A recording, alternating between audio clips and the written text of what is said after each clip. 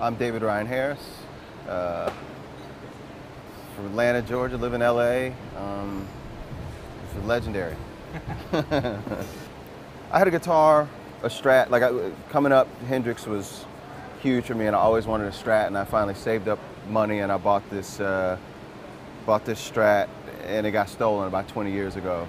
And uh, I've had tons of Strats since then, but none that I really had any sort of connection with. I could just never kind of find that vibe. And so um, you suggested, I think that I get together with Dave Brown um, and just sort of pick out the neck and the you know the body and sort of spec out a guitar and went and did that. He was really great helping me you know pick out the wood and the pickups and you know really listen to all of the little quirky things that I wanted and I I love it. It's uh, call it Simone. My wife's name is Sloan, but I call her Simone. Uh, so this is this is my Simone.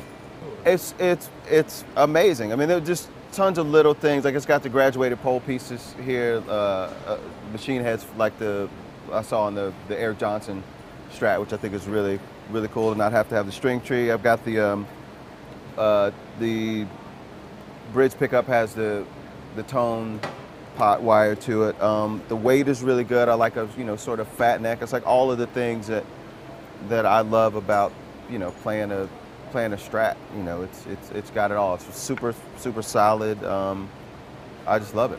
It's just great knowing the the level of craftsmanship that goes into a custom shop guitar. Like I feel there's some guys that are sort of you know vintage purists and they want you know uh, they want they only want vintage guitars. I really kind of get off on the idea that I have a guitar that I'm the it's it's only got I'm the only guy that's going to put mojo on it other than the person that built it. And I don't, you know, I don't get hung up on it being a vintage thing. You know, part of the vintage thing is what it plays like and feels like. I don't really care about the cachet of having, you know, a vintage guitar. So the custom shop thing gives me all of that. And I know I took that guitar to the case the first time and, you know, I played it and I, I, I love that.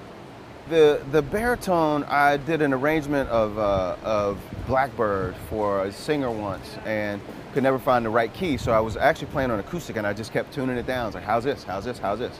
So I ended up in baritone range and I've just always, uh, you know, that was probably 16, 17 years ago. So I've always tried to have one kind of in my arsenal of things. It's just really good to be able to quickly go and grab a guitar it's got a completely different scale, a completely different range of, you know, where I, because I sing and, and write songs, it's, it's, uh, it's just a full throaty kind of thing. I just, uh, you know, uh, I love it. And whenever anybody picks it up or, you know, they, they see me play the baritone, they, you know, because it looks just like a telly from a distance, they go, you know, what's, how's your telly so low? Or, you know, what are you, what are you playing? You know, what kind of strings are on it? But it's, you know, it's, it's great. And the, the Jazz Master really started, I love, uh, I love Elvis Costello.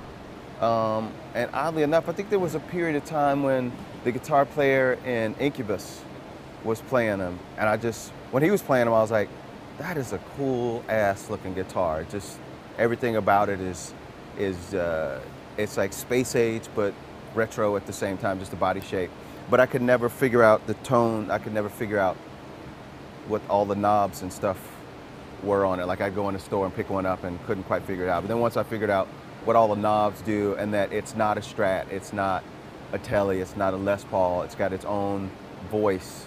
Um, it's so now it's just it's just another color in my toolbox, in my you know in my, in my box of uh, many colors. I've been with John, I think six or seven years. Yeah, we. Uh, kind of bumped into each other in Atlanta. I was still living there, and I think he was just kind of coming to town and you know setting up shop, and we kind of befriended each other there. And um, I, I was in a band called Brand New Immortals. We put out like this kind of rock record right about the time John put his first record out. And my stuff is like a, it's a it's a mix up of Bill Withers meets uh, Jeff Buckley meets Cheap Trick meets Hendrix. You know, I, am a soul singer, so anything I do is kind of got that that thing. But um, you know, it's really informed by all the stuff I grew up, you know, listening to as a kid. You know, I love stuff like that Radiohead, All I Need song that you know just went off. But I'm not quite that freaky and experimental or or cool. It's just like you know soul songs with more guitars.